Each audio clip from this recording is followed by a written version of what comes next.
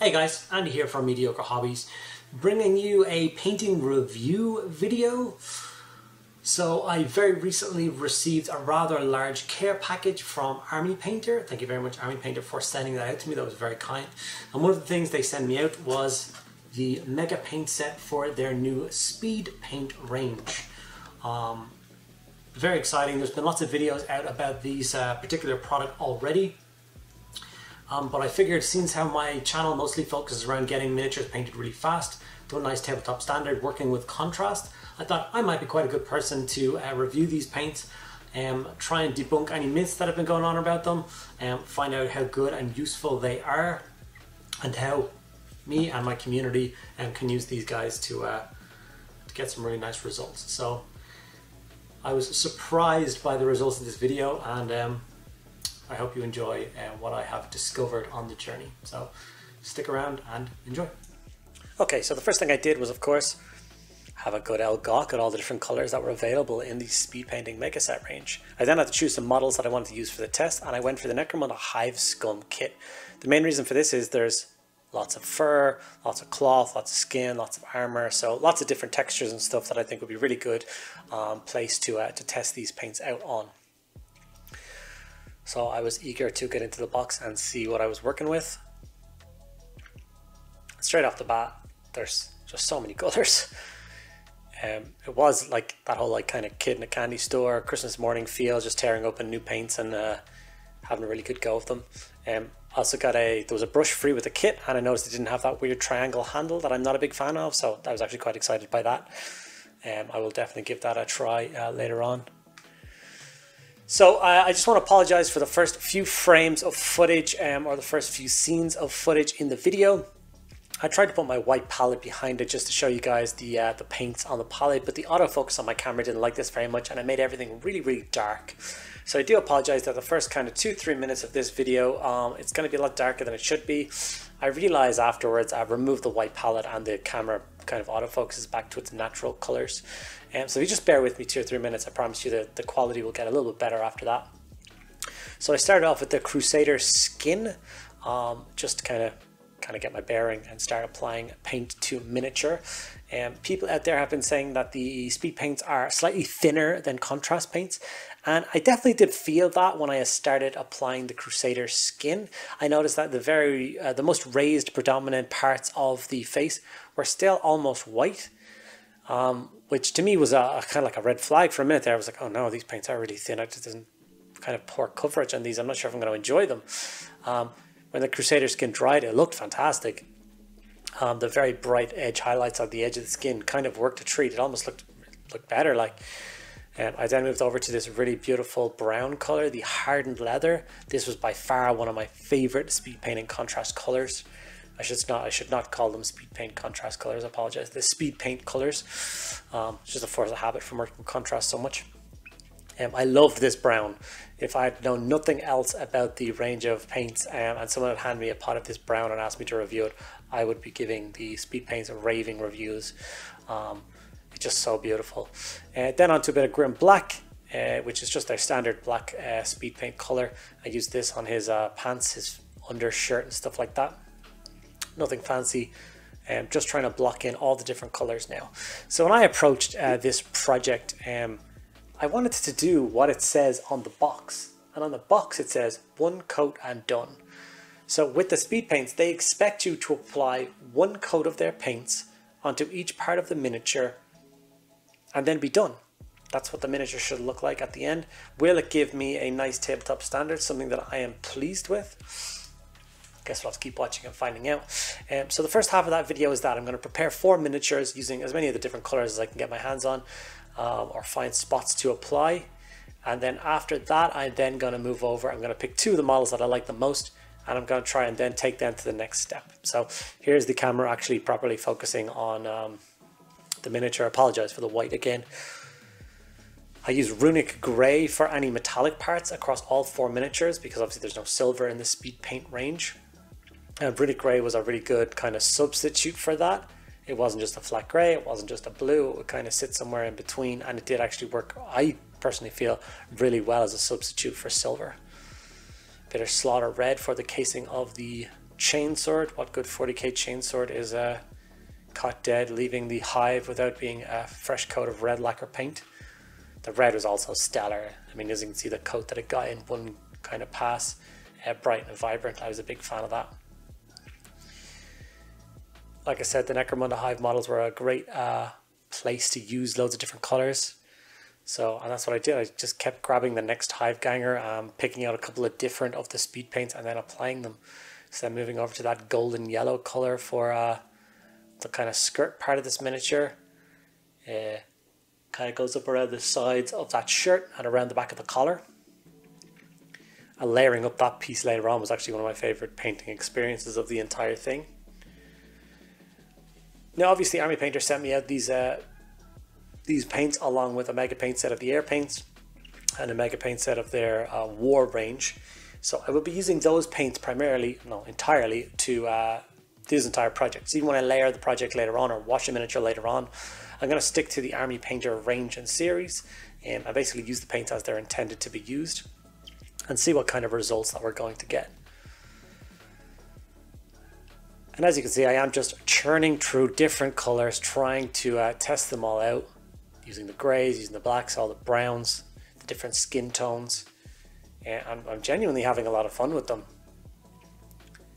People, things like this, uh, the purple alchemy, this made me kind of uh, reminiscent of like a 90s Batman villain, you know, the, the kind of dark undertone, but then all these vibrant extra colors going off all over just to make them stand out from the Gotham's dark and grim city streets.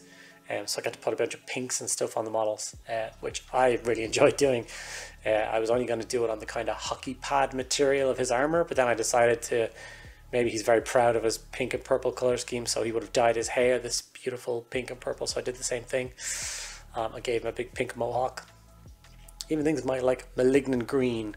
In my head, this is a color that was supposed to be used on like Nurgle rotten miniatures um, textures and stuff like that. Um, I didn't have anything like that in this uh, the box of four miniatures, so I just tried to throw it over um, this miniature's jacket, and I love the result of that as well. It sit really nicely into all the recesses. It wasn't too strong on any of the raised parts. It was a really interesting tone. Um, and yeah, I was delighted with it. Once again, I tried to give this one a, a mad color scheme for the hair, so I went for a pla plasmatic bolt color scheme which obviously is supposed to be used for energy weapons and stuff like that, but I went for the hair. Fire Giant Orange um, was I, I thought it was going to be a different kind of tone of orange, but it turned out to be this really warm kind of rustic orange. Um, and I basically imagined this guy to be like an escaped convict or something like that, so I wanted to give him an orange jumpsuit. And once again, it worked out fantastically.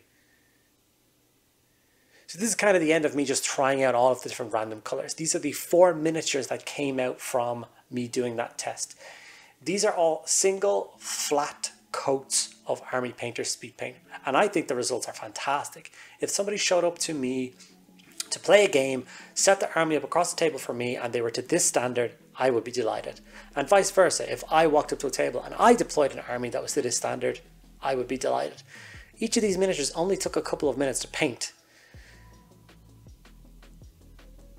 It took a lot of stress out of painting. It's going to help a lot of people get through their backlogs. Even if you say to yourself, okay, I'll, I'll, I'll work these miniatures up later on more, that's fine. Get into the standard first.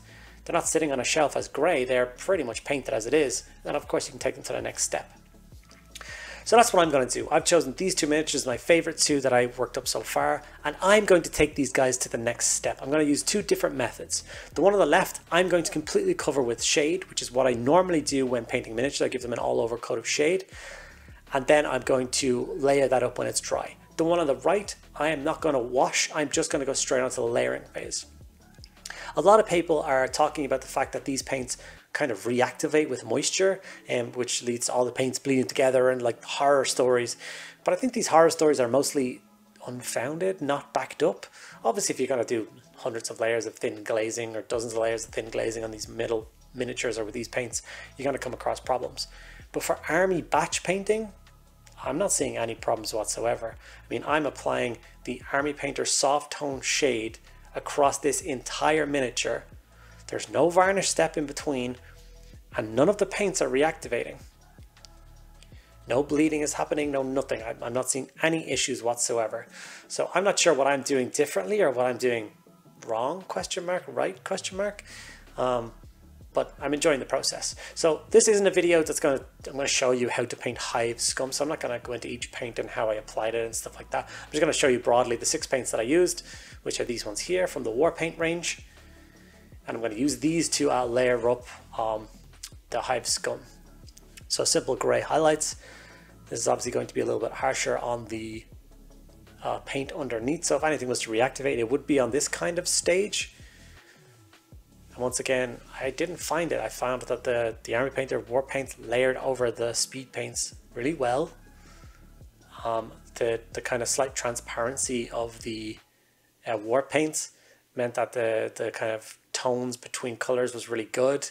Uh, like this is the stage I was telling you about earlier where I was layering up this yellow and I was like, damn, I'm getting really nice texture out of this. The kind of bit of war paint showing, the bit of speed paint showing underneath and then just working that color up. I had a great time. layering up the skin now. I used two different tones of skin um, for layering up each miniature. Uh, this one I used, I had a little bit less fun with. I couldn't get the kind of coat that I wanted to. This may be the only time where I, I could have seen some reactivation. I don't know whether I did. Maybe I was just being slightly paranoid. Um, but I wasn't having as much fun with it. And I started to wonder if the maybe the skin tones aren't as fantastic in the Army Painter range. But then I used the other tone for the other miniature and I just had a completely different experience. It was great. So perhaps one of them is supposed to be the base and one of them is supposed to be the layer and this one's just a little bit thinner. Um, I can't be too sure.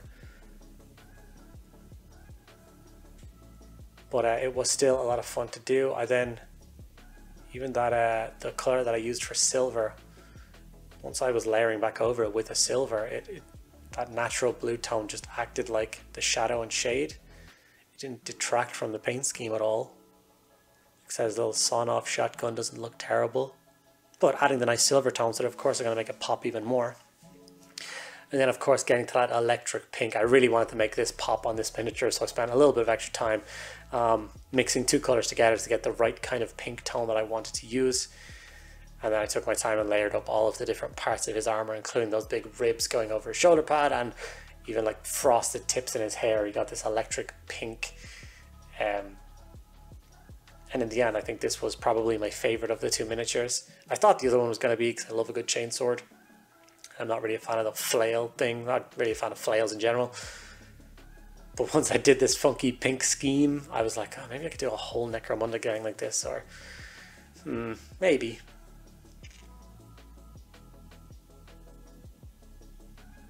And this is where I got to with that miniature after applying a couple of coats of layering. Look how the skirt turned out as a layer. I call that high tabletop standard now. I would be delighted to have an army like this. I'd be proud to have an army like this on the table. Absolutely no shades were used, just the army speed paints and a couple of war paints. Now this guy's shades have dried, his uh, light tone um, and like I said, once I went back to it and perfectly checked that it was dry, absolutely, as you can see, there's no bleeding between colors. There's no, like you would definitely see that red chain sword cover bleeding into the nice shiny teeth or anything like that, but there's, there's none of it. So just like before, I went in and then layered over the uh, the speed paints we've done already. Now, if you are worried about the reactivation, think about it like this. If you apply a shade like I just did carefully and it dries and no bleeding has happened, this will count as like a coat of varnish because the shade is not going to reactivate. Therefore, the, the model underneath is even more protected. It's what I find with contrast and why when I'm painting with contrast, I basically treat contrast as all of my base coats and I put a shade over the top of the entire miniature. This then act as that protective layer contrast is does not create an entire a, a, very strong coat of paint on a miniature and just simply rubbing your thumb over raised parts of contrast will literally wipe it off um, and that the shade acts almost like a layer of protective varnish so I think the same principle is through here um, for the army speed paints this is the skin tone that I had um, much better look with it. I really like the flow of it. I really like the coverage it got. And then in the end, I really enjoyed uh, highlighting up this guy's face. This guy has a, an immense like head of hair. It's like an 80s action hero villain kind of haircut, really spiky and all like huge, almost something like Dragon Ball Z. But then he's got this like really big bald patch on the back of his head, almost like a monk's haircut. I didn't quite understand it, um, but I found it really funny and lots of fun to uh, to paint and layer up. I then added the silver over uh, all those armor panels and the weapon, the teeth of the chainsword.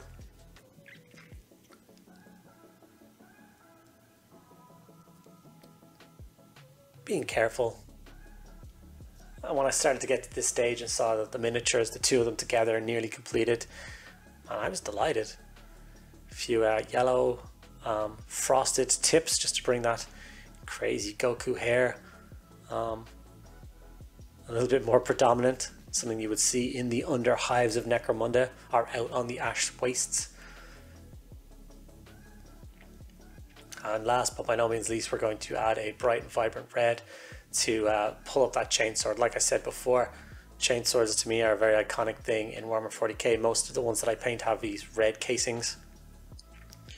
And I did love how this layered up over the speed paint. It gave us a uh, a really pleasing result.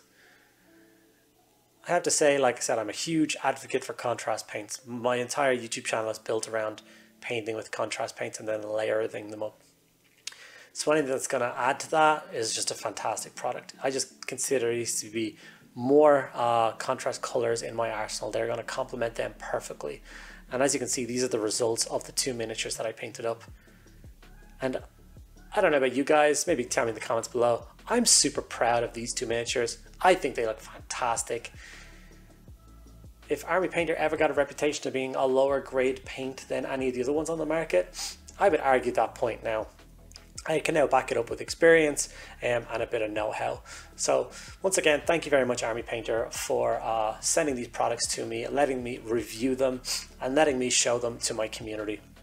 I hope you guys have learned a little bit about uh, Army Speed Paints and army paints in general in this video.